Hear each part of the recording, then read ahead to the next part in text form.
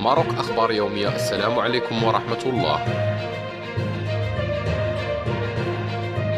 اضطر ضابط شرطة يعمل بالمنطقة الإقليمية للأمن بمدينة الخميسات لاستعمال سلاحه الوظيفي خلال الساعة الأولى من صباح يوم الأحد 17 يوليوز الجاري وذلك خلال تدخل أمني لتوقيف شخص يبلغ من العمر 21 سنة عرض المواطنين وعناصر الشرطة لاعتداء جدي وخطير باستعمال السلاح الأبيض. وكانت مصالح الأمن الوطني بمدينة الخميسات قد توصلت بنداء نجدة عبر الخط 19 يتعلق بقيام المشتبه فيه رفقة اثنين من شركائه بارتكاب سرقات بالعنف بالشارع العام حيث تدخلت أقرب دورية للشرطة من أجل توقيفهم غير أن أحدهم واجه عناصرها بمقاومة عنيفة باستعمال السلاح الأبيض. عرض خلالها مفتش شرطة لطعنة بالغة على مستوى الصدر الأمر الذي اضطر زميله لاستعمال سلاحه الوظيفي وإطلاق رصاصة تحذيرية قبل إصابة المشتبه فيه